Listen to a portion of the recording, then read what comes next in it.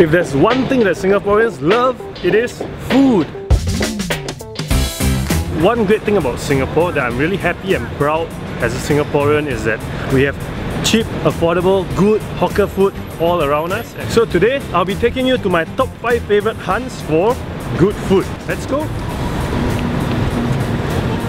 Okay, look what we have got.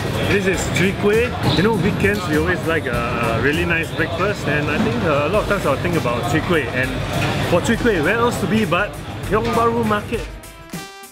I think the Chwee Kueh over here, uh, the Chai Po is really fragrant and the cake is very soft. See, I'm quite full already. My second one I cannot eat anymore. I've got my carrot cake now. Uh, this is the white carrot cake and uh, it's famous over here, uh, the Bukit Timah Food Center. I sort of grew up here. My first three years of my life I was here, although I didn't know a thing lah. And uh, my parents, they grew up here, they, they were at a kampong over here. I haven't been back here for uh, some time and it still tastes the same. I think it has a very nostalgic feel about it. I think everyone loves fried kway teow. We are now at Zion Food Center where everyone talks about the fried kway teow. Smells really good, piping hot, best from the wok. I think this is not so oily and uh, the noodles are really fragrant. I would always normally ask for maybe one more egg and then uh, no tauge.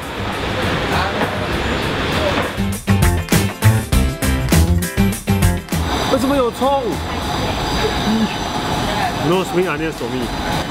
We are now at Lavender. It used to be a Lavender Food Center over there, but now they have closed down, so sad. And uh, I think they have shifted over here uh, to Honam building. So this is not a typical black sauce wanton mee. It is a white one, but then don't look at it like it's very bland. Actually, it tastes really good. When my dad was still around, he would drive us and then we, the whole family would come, we would eat and then we also also have wanton soup.